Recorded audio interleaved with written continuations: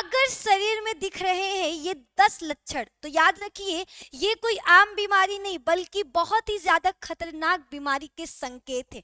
और जिनको पहचानना बहुत ज़्यादा ज़रूरी है, क्योंकि दैनिक जीवन में हमको ये सारे लक्षण तो दिखाई देते हैं, लेकिन हम इन्हें नजरअंदाज कर देते हैं। और जिसका खामियाजा हमको बाद में भुगतना पड़ता है, जब डॉक्टर बनाता है दस लाख से बीस लाख का बिल, तब बैठ जाते हैं, लेकर हाथ और कहते आई हो माई, कोई पहले बतैले रहत तो इतना खर्चा ना बैल रहत। तो भैया, सभी लोगों के लिए आज का वीडियो बहुत ही ज़्यादा इंपॉर्टेंट होने वाला है, क्योंकि आज के वीडियो में हम उन दस लक्षणों पर चर्चा करने वाले हैं, जो लक्षण अगर दिखाई दे रहा है तो आज ही सावधान होने की ज़रूरत है।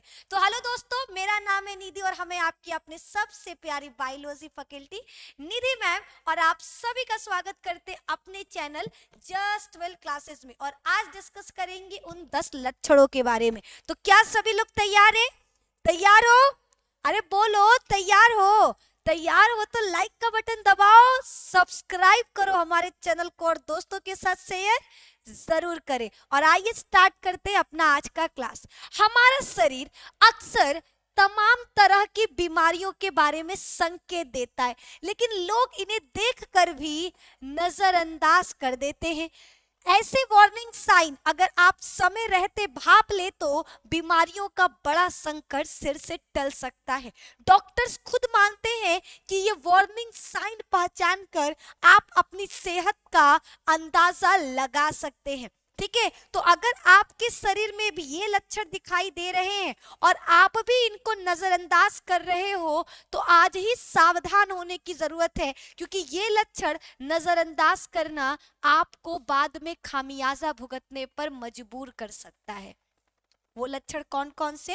एक एक करके हम क्या करने वाले? डिस्कस करने वाले हैं। पहला यूरिन वॉशरूम जाते, यूरिन की बात करेंगे, यूरिन भी आपको क्या करता है? बीमारियों के बारे में बताता है, यूरिन का रंग, यूरिन के बारे में, यूरिन का गंध, इससे आप पहचान सकते हो कि आपको कोई बीमारी है या नहीं है। वॉशरूम जाते वक्त कभी आपने अपने यूरिन के रंग को गौर से देखा है? क्या यूरिन का मतलब होता है मूत्र? जब आप वॉशरूम जाते हो तो कभी आपने अपने वॉशरूम या फिर यूरिन को ध्यान से देखा कि उसका कलर क्या है? ठीक है तो देखो यूरिन का रंग भी आपको हेल्थ के बारे में बता सकता है। डॉक्टर्स का कहना है कि यूरिन का रंग सामान्य तौर पर हल्का पीला होना चाहिए। साथ ही इस बात का भी ख्याल रखना चाहिए कि उसमें कोई तेज दुर्गंध ना आ रही हो। अगर ऐसा नहीं है तो चिंता की कोई बात नहीं है। ठीक है, अगर आपका यूरिन हल्के पीले रंग का है, उसमें किसी भी प्रकार का तेज दुर्गंध नहीं है तो आप सामान्य हो। लेकिन अगर आपके यूरिन का रंग चेंज हो रहा है, यूरिन के रंग में बदलाव देखने को मिल रहा है तो फिर चिंता का विषय, फिर ये कोई ना कोई बीमारी का संकेत है, इसे तुरंत दिखवाने की ज़रूरत है। दूसरा, खराब नाखून, होठ की तरह आपके नाखून भी आपके फिट या अनफिट होने की ओर इशारा करते जब भी हमको बुखार वगैरह होता है, आप नोटिस किए होंगे, होठ सूख जाता है। अगर आपको बेहोशी होने वाला होता है, चक्कर आने लगता है, शरीर में पानी की कमी होती है, उस दौरान आपके मुँह में लार बनना बंद हो जाएगा, आपका होठ पूरी तरीके से सिकुड़ जाता है, जिससे आप तुरंत पहचान लोगे कि हाँ मेरे शरीर में पानी की कमी है, हमें चक्कर आने वाला है, उससे पहले आप पानी पी लेते हो। तो बहुत सारे लोगों को ये नहीं पता ठीक है बहुत सारे लोगों को उस दौरान पता ही नहीं चलता कि उनको चक्कर आने वाला और थोड़े सेकंड बाद वो चक्कर खा के गिर जाते हैं। तो अगर आपको ये पता रहता तो आप तुरंत क्या करते? पानी पीते ना? तो आप लोगों को ये सारी चीज़ें अपने शरीर में होने वाले बदलाव को देखकर अंदाज़ा लगाना होगा कि हाँ अगर मेरे शरीर में ये बदलाव हो रहा है तो ये रोग हो सकता है। उसी तरीके से नाखून। अगर नाखून नाखून भी आपको बताते हैं कि आपका शरीर फिट है या अनफिट है। हाथ या पैर के नाखून में अजीब सी लकीरें, निशान या उनका रंग बदलना आपके अस्वस्थ होने की ओर इशारा करते हैं। इनका रंग हमेशा लाल होना चाहिए। शरीर किसी गंभीर रोग की चपेट में तो नहीं, नाखून इससे जुड़ा संकेत दे सकता है। अगर आपकी नाखून पर धारियाँ आ जाए, लाइन आ जाए, ये लाल रंग की जगह किसी और रंग, सफ़ेद या फिर कोई और रंग का दिखाई दे दे तो ये आपका क्या है? ये रोग का कारण है। ये एक संकेत का कारण है। अगला, कम हाइट आपने लोगों के कद बढ़ने के बारे में तो सुना होगा, लेकिन क्या आपने कभी हाइट घटने के बारे में सुना? आप सोचोगे कि हाइट बढ़ता है, घटता नहीं है, लेकिन ज़्यादातर लोग इस बारे में नहीं सोचते, लेकिन उनका वास्तव में हमारा कद घट सकता है। दरअसल, ये हड्डियों से जुड़ी एक समस्या है।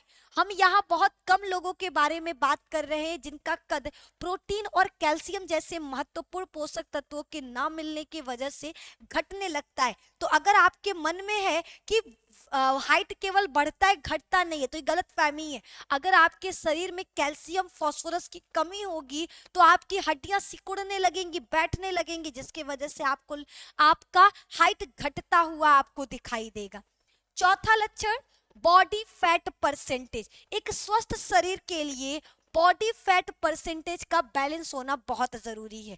बॉडी फैट परसेंटेज बढ़ने का मतलब है कि आपके शरीर में लीन टिश्यू से ज़्यादा फैट टिश्यू बन रहे हैं, जो कमज़ोर मांसपेशियों की वजह से होता है।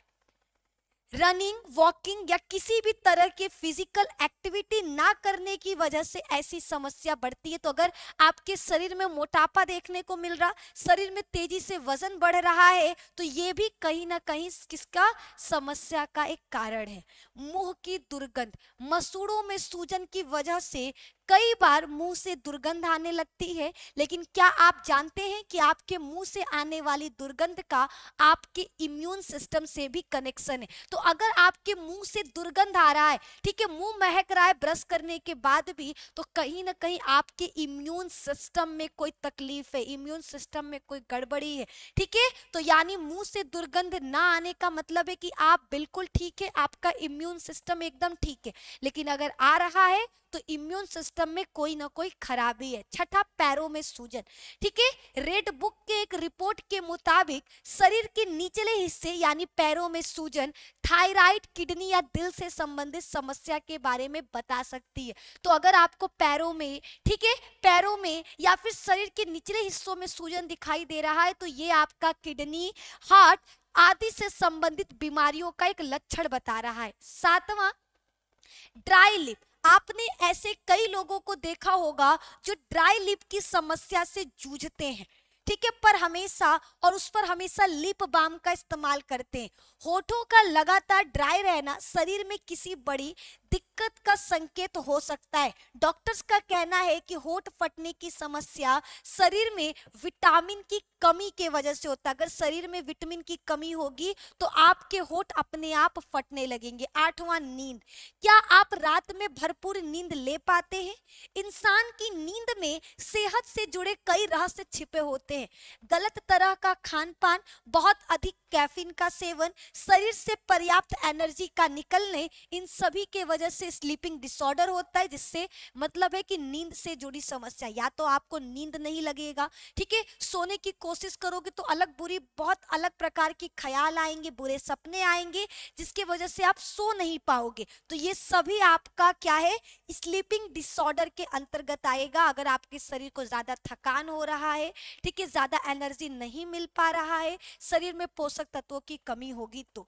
नौ, नवा है बॉडी टेम्परेचर हाथ पैरों का हमेशा ठंडा रहना सामान्य नहीं है। आमतौर पर मौसम के तापमान के हिसाब से ही हमारे शरीर का तापमान बदलता रहता है। लेकिन अगर आप लगातार ऐसी चीज़ों को महसूस करते हैं तो ज़रूर कोई गंभीर समस्या है। हाथ पैरों का लगातार ठंडा रहना शरीर में ब्लड सर्कुलेशन की समस्या के कारण हो सकता है। आपके शरीर के उन हिस्सों तक पर्याप्त रक्त का प्रवाह नहीं हो पाना जहाँ ज़रूरी है। ये भी आपका क्या है? टेम्परेचर के लिए एक रीजन है। अगर टेम्परेचर बार बार देखो टेम्परेचर मौसम के अनुसार बदलता है। लेकिन अगर आपका शरीर बिन मौसम बदल रहा है, आपका शरीर ज़्यादातर ठंडा रह रहा है तो ये एक गंभीर समस्या का कारण है। और दसवां खराब स्किन। स्किन की क्वालिटी से इंसान की हेल्थ के स्तर को पहचाना जा सकता है। आमतौर पर कुछ लोगों को मुहासों की समस्या होती है, लेकिन स्किन से जुड़ी ऐसी दिक्कतें अस्वस्थ होने का संकेत हो सकती हैं। खराब डाइट आपकी स्किन क्वालिटी के खराब होने का कारण हो सकती है। अगर आपको स्किन पर कुछ अजीब धब्बे नज़र आ रहे हैं तो आप समझ जाना कि आपके शरीर में कुछ गलत चल रहा है। तो यहाँ पर हमने कुछ दस ऐसे रीजंस के बारे में देखा, जो आपको क्या कर रहा है, रोगों के बारे में बता रहा है। आपके शरीर से जुड़े हुए ये दस बदलाव आपको गंभीर समस्या से बचा सकते हैं। तो अगर आपको भी अपने शरीर में इन दसों में से कोई भी लक्षण दिखाई दे रहा है तो तुरंत पता करें कि उस लक्षण का कनेक्शन किस बीमारी से है। और ऐसे ही वीडियोस के लिए जस्ट ट्वेल्व क्लासेस से जुड़े रहे। एक बार फिर से वीडियो को लाइक ज़रूर करिएगा, दोस्तों के साथ शेयर करिएगा। और अगर आप हमारे चैनल पर नए हैं, पहली बार आए हैं तो प्लीज़ चैनल को सब्सक्राइब कर ले। बहुत बहुत धन्यवाद।